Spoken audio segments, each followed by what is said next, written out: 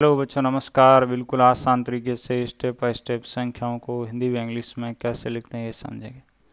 तो हमारे भारतीय सिस्टम में संख्याओं को हम दाएँ हाथ से गिनते हैं। कैसे? इकाई ढाई सैकड़ा, हज़ार, दस हज़ार। यानी स्थान किसका है? हज़ार का। यहाँ कितना रहा एक, आठ। कितना होता है? अट्ठारह इसके आगे आ गया, इसका स्थान तो क्या बन गया? अट्ठारह हज़ार। अट्ठारह यानी कितना?